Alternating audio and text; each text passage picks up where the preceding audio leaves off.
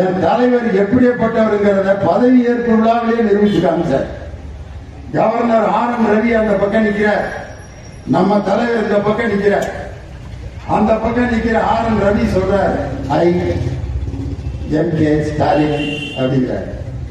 நம்ம தலைவர் என்ன சொல்லியிருக்காங்க மு க ஸ்டாலின் என்னும் நான் அப்படின்னு தான் சொல்லியிருக்காங்க அவரு முத்துவேல் கருணாநிதி ஸ்டாலின் என்னும் நான் கவர்னர் நம்ம ஒண்ணு சொல்றோம் அது ஒண்ணு சொல்லியிருக்காரு நம்ம சொல்லாததையும் இடையில சேர்த்து என்னமோ சொல்றாருன்னு கொஞ்ச நேரம் அதுக்கப்புறம் தான் கவர்னர் சொல்வது எது சரியோ அதை மட்டும்தான் நான் கேட்பேன். சரியில்லாததை எதை சொன்னாலும் இந்த ஸ்டாலின் கேட்க மாட்டான்றத பதவியேற்பு நிரூபித்தவர். இந்த நிகழ்ச்சி வருகை இன்னைக்கு நான் சொல்றேன் அதிமுகவுடைய தலைவி அந்த அம்மாவை உங்கள் தலைவியை கூட காப்பாற்ற முடியாத ஒரு கேவலமான கட்சி அதிமுக என்ற கட்சி. இன்னைக்கு அந்த அம்மா எப்படி இறந்தார்கள் என்பதை கூட கண்டுபிடித்து குற்றவாளிகளை தண்டிப்பேன் என்று சட்டமன்றத்தில் அறிவித்த தலைவர் நாம் தா- தமிழக முதல்வர் அவர். வெக்கமா இல்ல எடப்பாடி பழனிசாமி செஞ்சு அனைத்து இந்திய உடனே ஓட்டு செஞ்சிருச்சு. அனைத்து இந்திய அண்ணா திராவிட முன்னேற்ற கழகத்தில் நீங்க என்ன? அதிமுக சார்பாங்க நாங்க பேசல போடா அப்படின்னு வேட்டியை மறைச்சு கட்டிட்டு. மனோஜ் பாண்டிய வேட்டியை மறைச்சு கட்டிட்டு உடனே உடனே விட்டு தெரியாதா? ஏ, உடனே விட்டு இன்னும் கொஞ்ச நேரம் விட்டுருந்தா. பல வயலோட வந்து அவன் வந்திருக்கான்.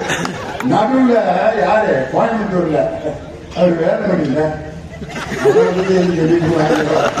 அவருக்கு பேர் திருட்டு முடியோ கிடைக்கிறாரு இந்த நிலைமை இது திமுக ஏற்படுத்தின நிலைமையா? அதிமுக காரங்க டீ கடையில உட்காந்து பேசிட்டு இருக்காங்க. தேடி வர மாப்பிள்ள நம்மளால இல்ல ரெண்டு பேரையும் நன்றி நம்ம என்னடா வந்தது அப்படின்னு அவங்க தான் பேசிட்டு இருக்காங்க. பஸ்ல போடியில இருந்து சென்னைக்கு பஸ் போகும் பாத்துருக்கீங்களா? அது இந்த ரெண்டு சீட்டுக்கு ஒரு கைப்பிடி வச்சிருக்கான் அந்த கைப்பிடிக்கு விடிய விடிய ரெண்டு பேரும் சண்டை ஓடிருப்பாங்க பாத்தீங்களா போடியில இருந்து தேனி வர்றப்ப இவன் கை வச்சிருக்கான் அந்த வலது கைக்காக நீ தூங்குடா நான் பார்த்துக்கிறேன்.